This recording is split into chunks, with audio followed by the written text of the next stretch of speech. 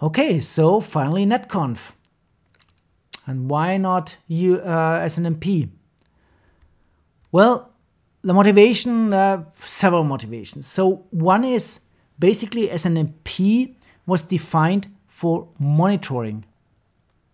Management, yes, but mainly monitoring. What's going on on devices, traps, if something goes wrong, may be set here and there parameter, but not for real configuration, reconfiguration of devices, downloading a big configuration. So this is why all the companies have their own tools, command line tools uh, to do this. Hmm, okay. So there was the NetConf working group and they created several RFCs and uh, those RFCs now they say, okay, NetConf now year 2000 and following 2011, um, well, we have new ways of describing things. And XML is the way, a markup language, extensible, how to describe web pages, HTML, and other things. Now we also have many protocols for secure transport. We know how we encode. Here with JavaScript, a way of, uh, well, notation for objects, JavaScript, JSON, XML, all new things. They didn't exist at that time. So new things and also now more operations. We still have the get and kind of, yeah, set but this is just some examples. Get can do more. So we can retrieve the running configuration of a device and the state of the device or parameters. So we can download part of the data store. We can edit the configuration of the data store on the device. We can replace content create content, delete, so a lot more. We can copy configuration from one data store to another, uh, lock it, uh, unlock it, etc. So there are more powerful operations in netconf compared to SNMP. Okay, an example. So could you please get me the running configuration and the device state from a device that runs this, well, netconf. And this is coded here. This is an RPC, a remote procedure call. And this remote procedure call contains our get command. And then it has to be specified which data store uh, to get. And you also can ask for the running configuration. So that is the, the idea. And then you will get, have to fill in the details. And then this is just the rough idea of the RPC. And then you will get an answer. And the answer is also XML, because today you know, we know how to handle XML. And the first part will give you the running configuration. And that's basically the current operational configuration of the device. It includes settings, just for example, the interface configuration, routing protocols, access control lists, other parameters, so who's allowed to access the device, uh, etc. So when you perform this uh, get in uh, operation, you can basically download this running uh, configuration. That's one thing. And I also ask for a bit more device state information and then this contains the details about the device's operational state. So like interface status, up, down, CPU utilization, memory usage, and other real-time stuff. So here we see, okay, 45% memory usage, 12% CPU, just for example. The gigabit ethernet is up, and so on and so on. That's just an example. So here you see that we get as an uh, well, return uh, says, okay, here this router will give the uh, information about running configuration, router interfaces, etc. So it's a lot more you can ask for. And the description is now XML, something we can easily handle. So this is more powerful, more flexible, netconf. And also the way we describe our, it was the objects, our objects, uh, now we use not our uh, ASN and all this, but Yang. Yang is used for uh, many, many, many purposes, but also for netconf. Uh, netconf, also you see the uh, RFCs. This is um, can be used description for status of devices, events, notification, configuration data. Protocol independent, but can be easily converted to XML. So that's what you just saw. So uh, it also represents our data structures, but now as XML tree, offering many different data types. So netconf, that's still use own, well, protocol, so netconf, and uh, including all security, etc. There's also a version that directly uses HTTP. It's called RESTconf, REST interfaces. Ah, you remember we talked about this in the context of HTTP, and this allows accessing the data defined in this Yang now using exactly the concepts of netconf, but via HTTP and not via uh, TLS. So it's also netconf is secured by TLS. So just an example, we talked about router interfaces. You saw the description, the way of describing something in SNMP, Management Information Base, ASN1. And here you see a Yang example. So we define a Yang module. Uh, module here, this is a Yang module, and we call it router interfaces here. And this module, now you see a bit more modern concept, contains this container called router. And inside the router container, now we have a list of interface entries. That's our list of interface entries.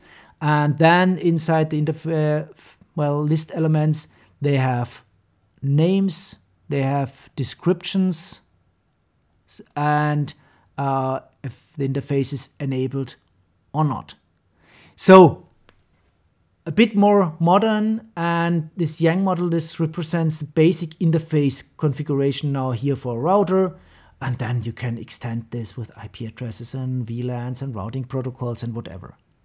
But I bet for most of you this is more familiar if you're familiar with more modern ways of describing data, data types, XML, etc.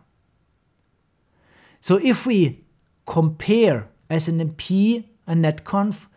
Well, still SNMP is the protocol and the architecture to use for network management. Netconf is coming up, but it always takes time deployment. Although this is now also 10, 12 years old, but this takes some time.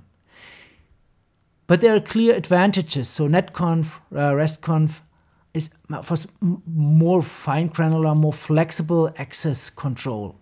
So compared to this uh, in, in SNMP, so basically either nothing, version 1 and uh, first, uh, version 2s, and uh, no encryption of everything, and just basically a logging in, and then you could do everything. And here it's way more flexible.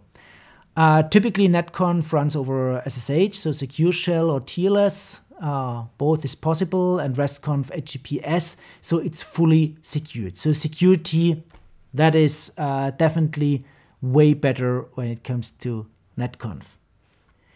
But also, when you look at the structure, netconf, as you just seen, use as the structured data models Yang, and it's way clearer if you well work in this context of uh, XML, JSON. It's a standardized way to represent, manipulate device configuration. So uh, compared to also to all this uh, 1.6.3. dot whatever, this could be a nightmare. So reduced likelihood for misconfigurations and an SNMP that's less intuitive and this hierarchical tree, yes, uh, but uh, you have these complex object identifiers, and uh, as soon as you try this by hand, okay, misconfiguration, security issues, misunderstanding, human errors.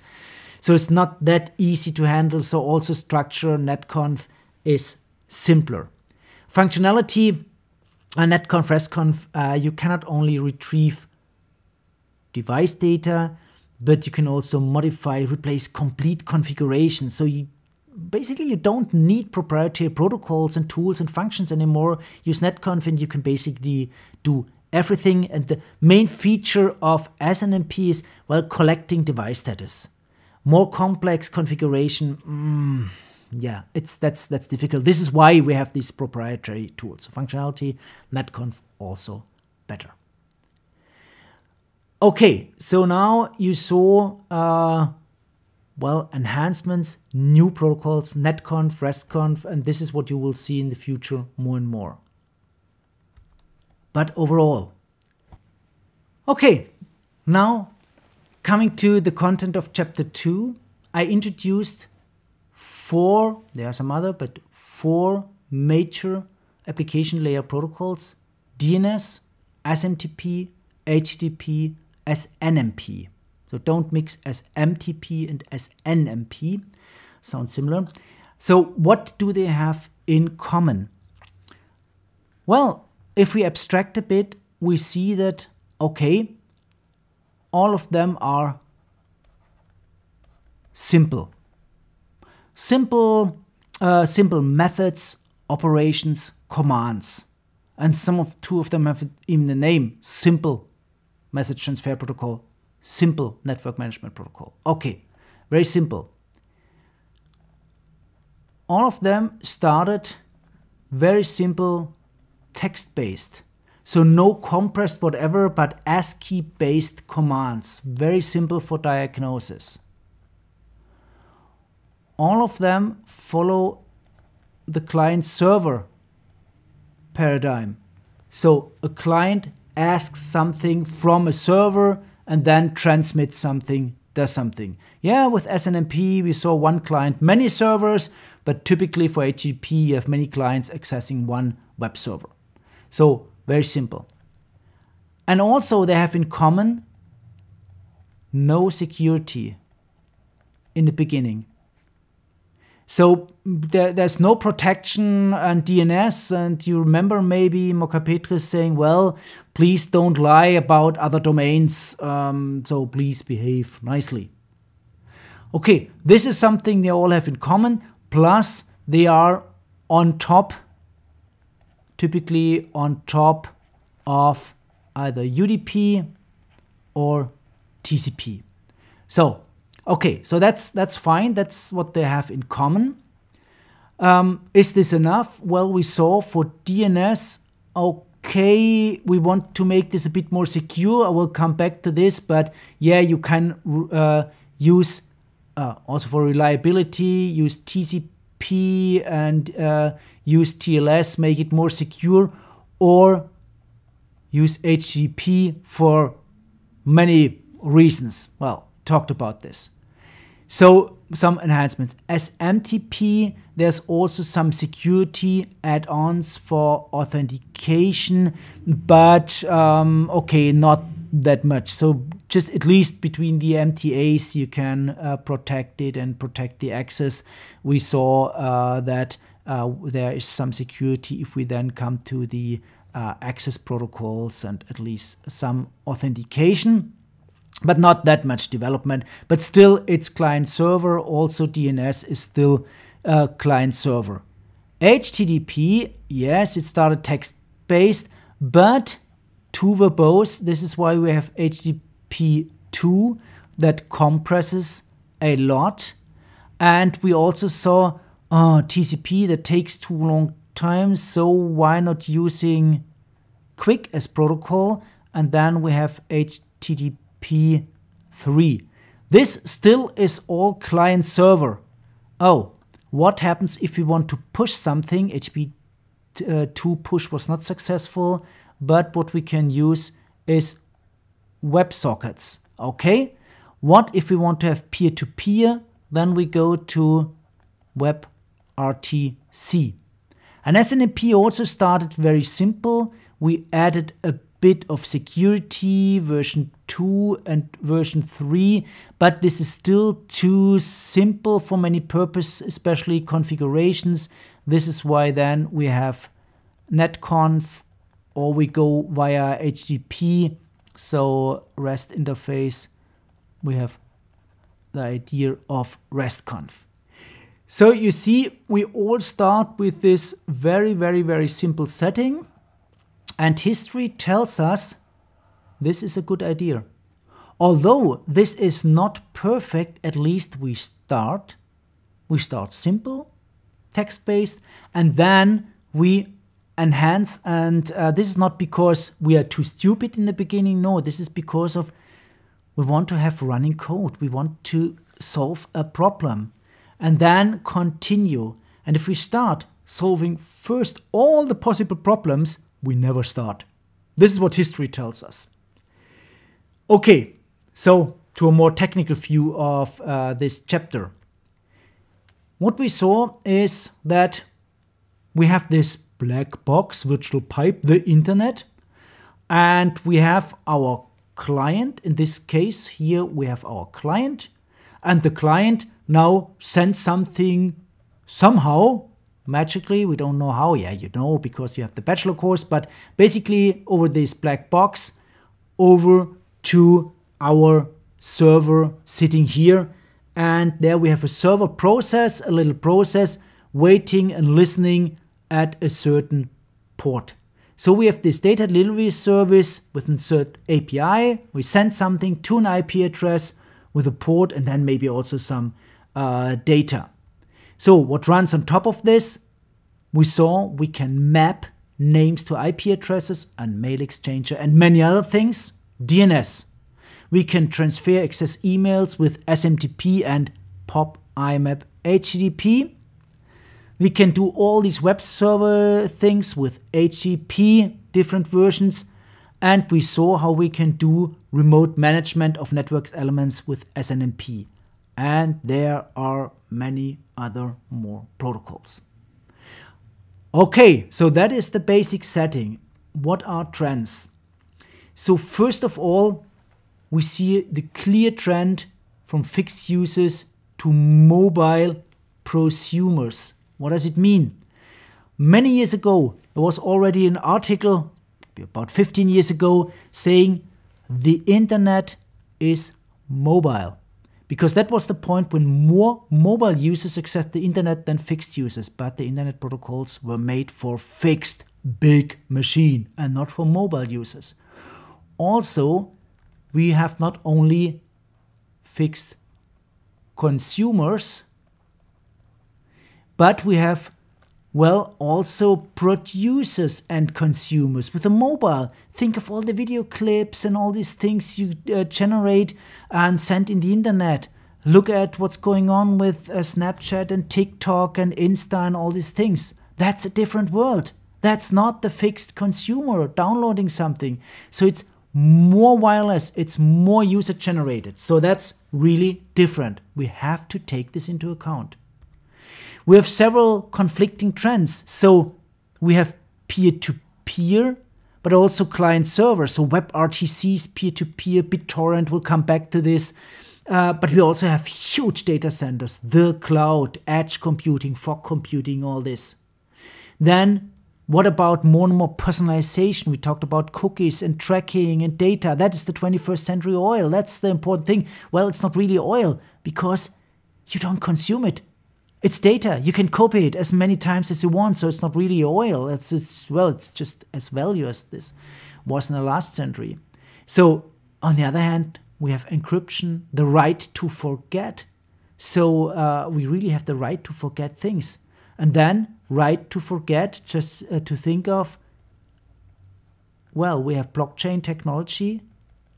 Then try to forget something deep inside the blockchain. It's exactly one of the characteristics of a blockchain that you cannot change something in history. So interesting. So interesting things to discuss also for uh, all from the legal side. So centralized approaches more and more distributed. So why not a single machine can really take a full load? Doesn't work. So well, we can distribute. Extreme distribution would be peer but the way it goes right now, it's a kind of geographically compact distribution. So we have the data centers, uh, basically, we distribute them, and then we discuss content delivery networks and all this. So, which concepts did you hopefully learn?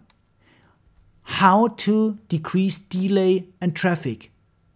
Well, bring content closer to the user. That means caching. So we saw this for name resolution, for proxies, etc. If we have too much load, spread it on many machines. We saw DNS can do recursive delegation, so you don't have to do this your own. We saw the three-tier architecture for web servers, data centers can do parallel computing, etc increase availability, reliability, replicate. So we saw, oh, DNS name servers, telephone book of the internet, one of the most important functions of the internet, replicated. We will talk about content delivery networks in a separate chapter. Okay, so now as a motivation, you know how we can use this virtual pipe, the data delivery. But behind this, how does it work? What is inside this black box. So how are the bits transmitted? Over cables, over radio, wireless, fiber, etc. How does it look like? When we really have a closer look, I already mentioned Wireshark, so, but if we really look at the different layers, so how does it look like here? Layer zero, the cable, and one and two and three, etc. So how do we find the way through the network? We just assumed okay, uh, we have the IP address. That's DNS. Now send, and somehow magic, magic, it will arrive here. How does it work? So how do we control um, input output rates at routers and all these things? So now we are back at the general organization of the course. So uh, we have now basically finished this first part of looking to some basics and into DNS and emails, etc. So the interfaces to this black box. So somehow we transmit. And now we start opening this box and look at the mainly IP protocol stack. We will also look at lower layer, bit physics and medium access, but the major part will then cover TCP IP, newer protocols, all these concepts, etc. Plus we'll have a closer look into the new trends in the domains like the content delivery networks, and a complete different paradigm, information centric networking. Oh, that's completely different. We don't need addresses anymore. But for now, some questions and tasks. So, coming back, uh, main motivations. Why NetConf instead of SNMP? What are the problems? So, and if NetConf is so great, why don't we just use NetConf? So, and why do we need some additional things like Yang and RESTconf maybe? Any ideas? Then we looked here at four application layer protocols, DNS, SMTP, HTTP, SNMP. What do they have in common? And uh, so what are the problems? And uh, why do we have newer versions? And what do the newer versions have in common? So why, uh, where is the trend going to? And then remember, if we have high load, too high delay, what can we do? How can we increase reliability? If you understood this, you understood the core ideas of the application layer protocols, then providing basically then the interfaces then for the real applications like a web browser, like an email program, etc.